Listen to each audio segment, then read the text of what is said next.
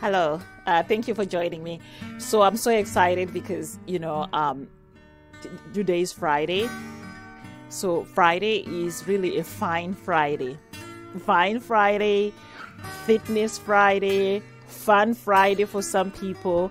So I was thinking, wait a minute. I don't even know what I should wear for this video. I don't even know what to do with my hair. Then I thought, well, thinking Thursday was about me thinking. So let me see. Wait a minute. So I thought, my hair is just fine.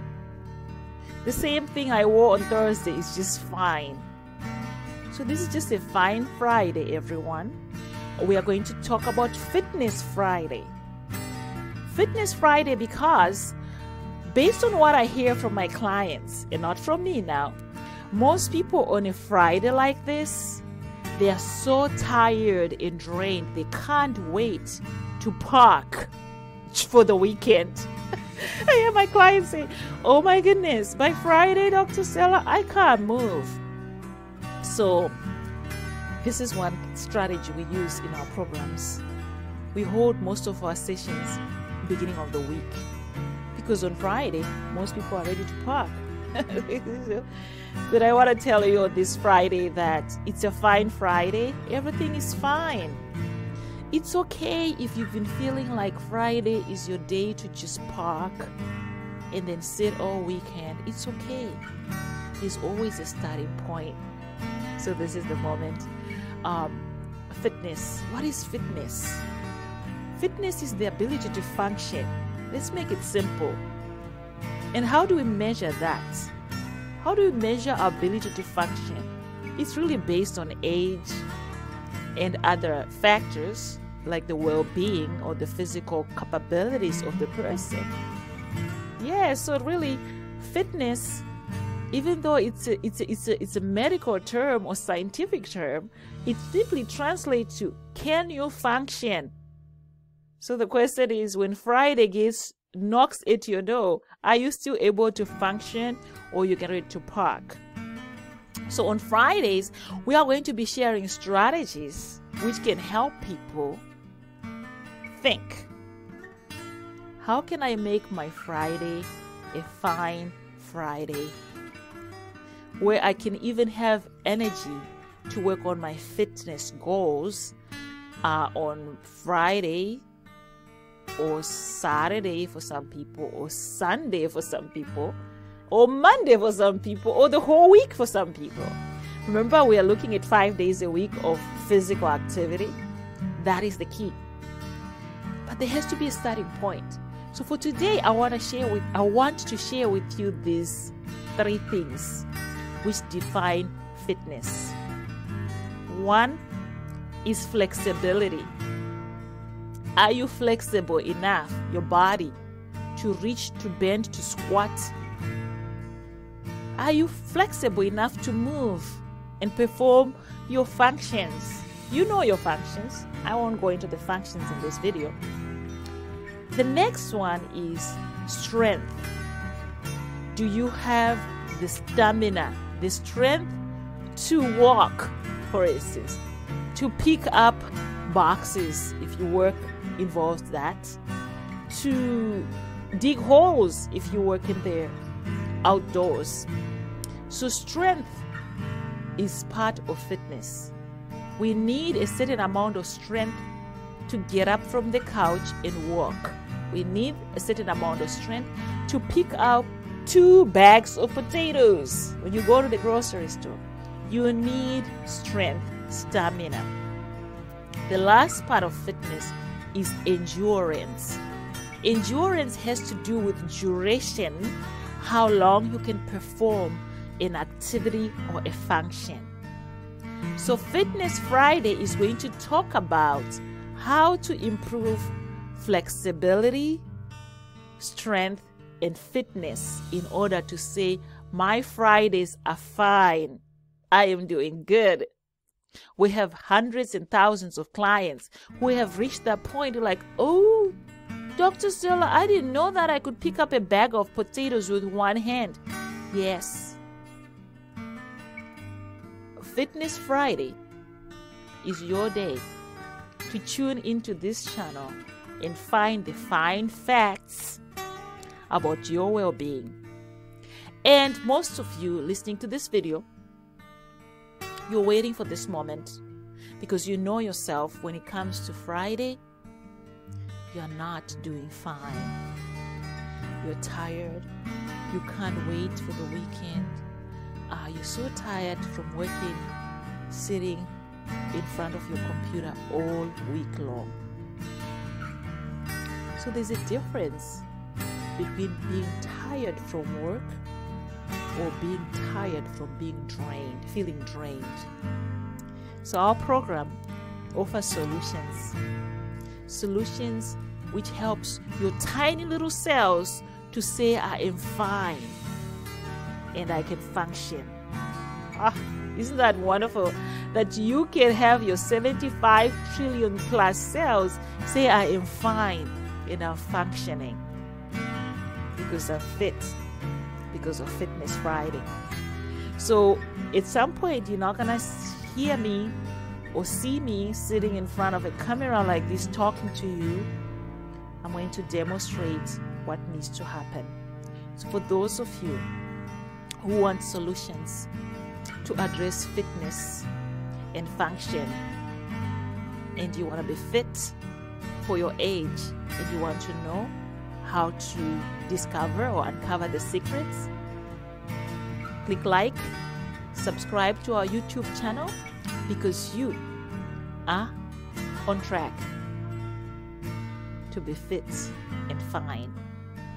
Fit like a fiddle, that's what they say. So before I end this video, I want to talk about hmm, something which is kind of sensitive. And this is the midsection. Sometimes people come to our programs and they're so tired of buying new clothes. They're like, you know, I used to be a size 8, I went to size 10, and now I'm size 18. And Dr. Stella, please help me. I can't go to size 20 because I don't really have the bottom part, my bottom is not that big but my waistline. And these clothes don't feel good. They don't look good on me, and I don't, I don't feel like myself again. And I have these tiny little dresses which one are size 10. They're still in my closet. I have news for you. We are celebrating success stories this year of women who the past year were at the same place where you are now. And truly speaking, they are back to wearing their cute little dresses again amazing when someone comes into the program and they weigh like 150 and they end up weighing 137 because they are very short.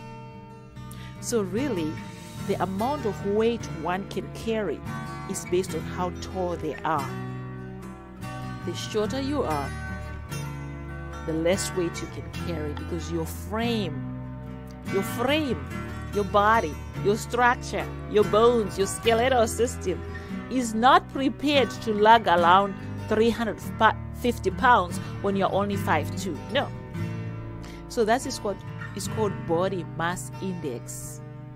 So, in order to start understanding fitness, you need to know your BMI, body mass index, the ratio of your height to your weight.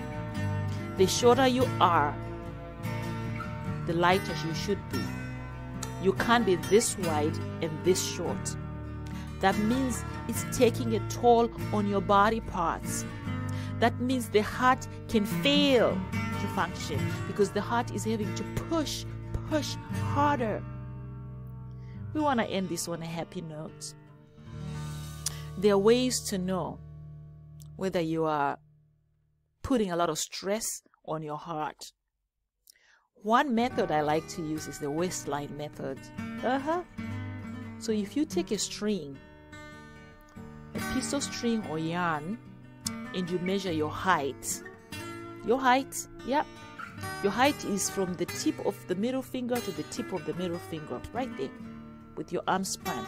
That's your height. Or it's from the bottom of your foot to the crown of your head. So you take a string like this. You measure your height. Let's say this is your height, right? It's your height. You're this tall. You take this, you fold it in half. When you fold it in half, this is your waistline. So your waistline is half your height. Waistline half your height. So if you see yourself, this is supposed to be your waistline, but your waistline is this big, you know everything is not fine with the heart.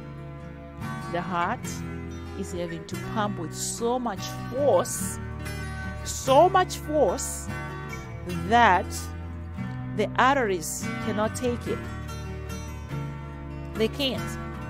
So, therefore, blood pressure is up. Yep, because the top number of your blood pressure is the force with which the heart is pumping blood out. So, oxygen, water, nutrients can go to the tiny little cells. Yes. So, on this Fitness Friday, I want you to begin to think how much force is your heart pumping blood at? So, for anyone with a blood pressure of 120 over 8, higher than that, higher than 120 over 80,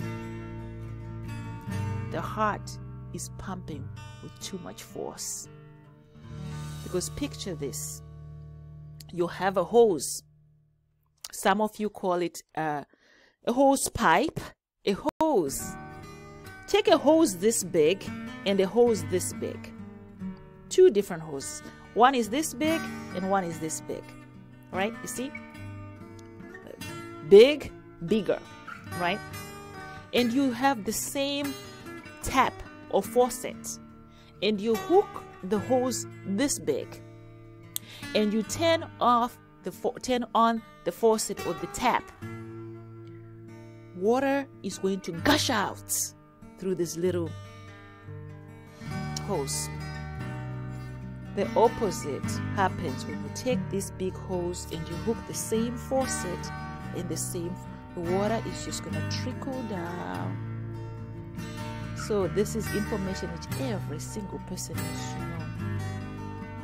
Why is this important? Because when the arteries are this small, the heart has to pump with harder force. It's going to be worked and it will fail. So, the good news to you all on this Fitness Friday is that there is a solution to this. To reduce the amount of work the heart is doing, fitness is the key. So, join us. Click the like button and share. Sign up so you can get started with your journey of reducing the amount of work your heart has to do by achieving your fitness goals. So, this program is for you to gain fit, Fitness Friday, to gain energy, to get healthier, lose weight, and sleep better. I am excited because I know you are making the right decision to jump on to this opportunity and make Fitness Friday a commitment to let your heart work without having to use so much force. Because when the heart uses so much force for a long time, it will fail. That is what is called congestive heart failure. So, welcome to Fitness Friday. Click like and share this video. Sign up for our YouTube channel so you can receive updates because you are the person who's looking to be fit. You're the person who might help someone else achieve their fitness goal. Fitness Friday is for you. Click, like, share, and sign on so you can achieve your fitness goals. Great job, everyone!